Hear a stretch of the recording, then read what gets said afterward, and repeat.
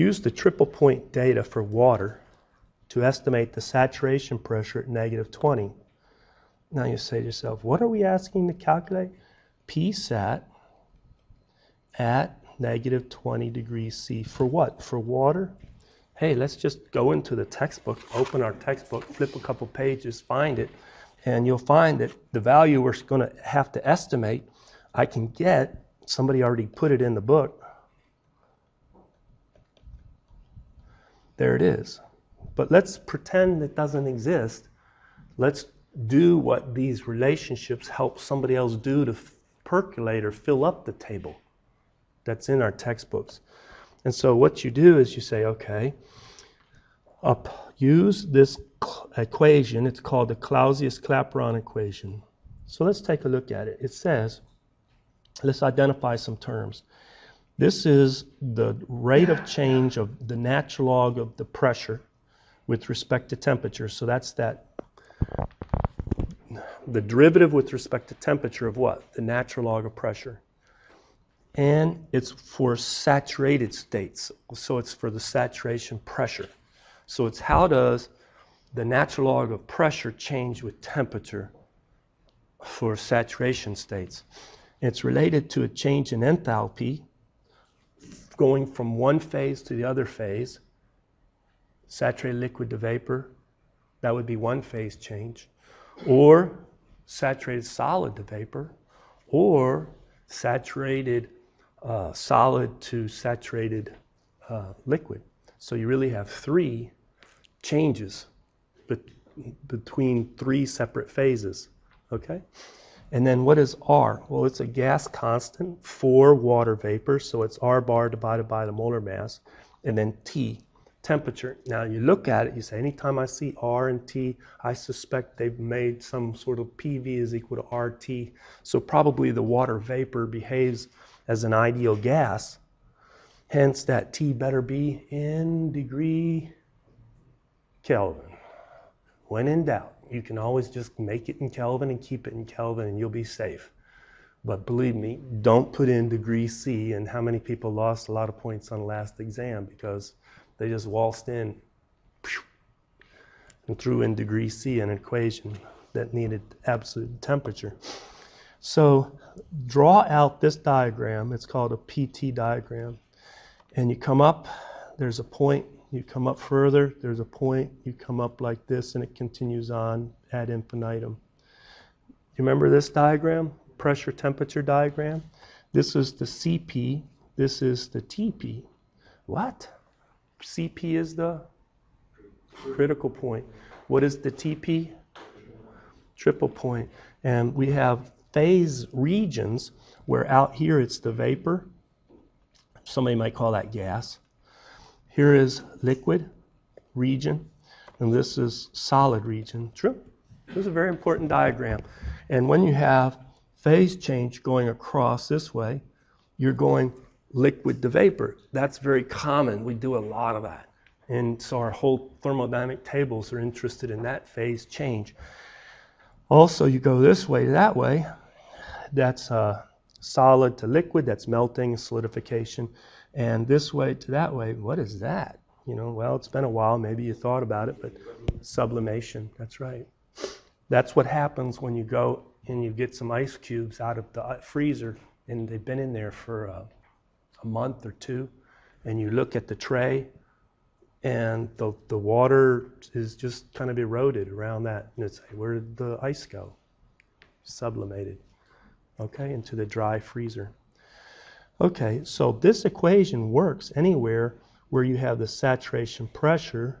So this, this sequence of points is the saturation pressure as a function of temperature. Where I just sketched it out, hey, that's in that one phase change region, solid to vapor. If I go out here, liquid to, well, at negative 20 degrees C, where do you think water's at? They didn't tell me the pressure, but they're talking about saturation pressure, true? So, yeah, the triple point temperature is numerically what value, and to critical point temperature is numerically what value? About 0.01 degrees C, 0 degrees C. and then it's like uh, 374 degrees C, and so you could think about this temperature scale there. So we're we're we're down in this region, aren't we? We're down in this region and here, somewhere right in there. And so what they're wanting to do is say, no, using the triple point data, knowing that the saturation pressure for water at 0.01 degrees C, we looked that up. Um, that's uh, 0.6113 kPa. Okay, so we know that this pressure, 0.6113 kPa, knowing some other values at the vicinity, let's like take a look at this one. How about delta H, which is the enthalpy going from solid to vapor. That's like uh, HIG, going from solid to vapor. That's that phase change enthalpy. That's available in our textbook. It's uh, at the triple point. It's a 28 uh, 34.8 uh, kilojoules per kilogram. And R, we know what R is, 8.314 kilojoules per kilogram Kelvin divided by 28, not 28, errors on my mind, 18.02 kilograms per kilomole. Isn't that the molar mass of water? and then T is our temperature. So using this information, can we predict what is the saturation pressure at negative 20 and then compare it with the table value? Okay. All right. What you do with this equation is you separate and integrate. So let me just go through it.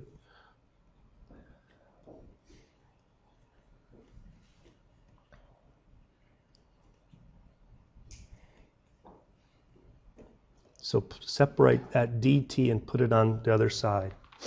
Then go ahead and integrate. Well, when are you going to integrate from and to?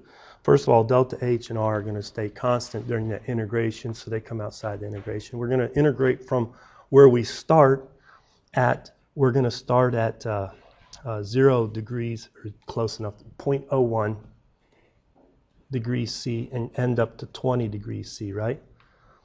And here you're going to start at the corresponding whatever for the start and to the final. Okay. if you integrate, this is the easiest integral. So you have the natural log of the saturation pressure evaluated at those limits. Initial, final limit. All right. You have the delta H divided by R. You have to integrate 1 over t squared dt. It's been a while. True, integration, a little bit of a challenge. Negative 1 over t. Thumbs up? Great, that's good. And you evaluate at the same corresponding limit. This limit A needs to match that one. That limit B needs to match that one. I don't know why I called it A and B. It's the first and second limits, but they have to match, okay? So, good little review of calculus.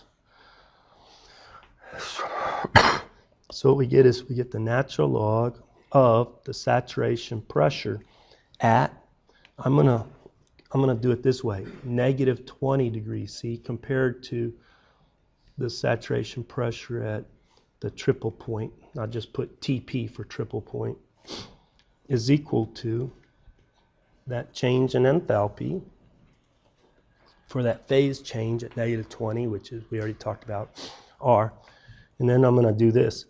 I'm going to put uh, this negative sign always bothers you, right? So if you put a plus there, this switches location.